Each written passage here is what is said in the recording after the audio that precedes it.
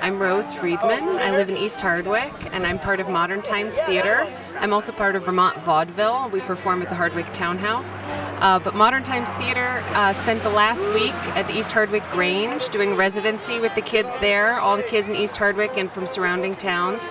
We had about 25 kids come every day after school and we built a giant puppet together and in the evenings we made a community band together. So today in the Children's Parade in East Hardwick, we're going to have our giant dog that we made, and the banners that the kids painted, and the band playing, marching in the parade.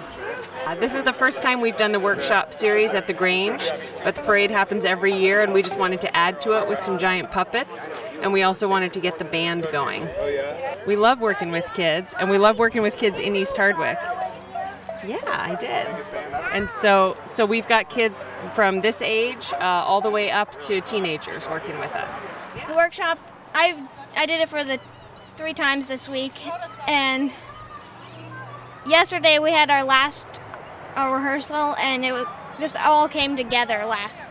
So yeah, last night we marched down the street, and we had to like go on one side of the road to dodge a car, and then keep walking. It was really fun how we did that.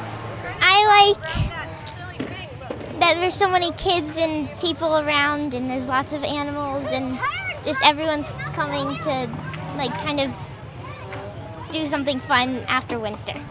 Um, I like the parade. I like all the different things. Like it, there's so many different. There's the band. There's the dog. There's all, the animals that march. There's the people with signs. I don't know exa- exactly know what they're doing, but they're doing something with, about that. It's a, they're going on strike or something. But it's really fun just acting out your part in the parade.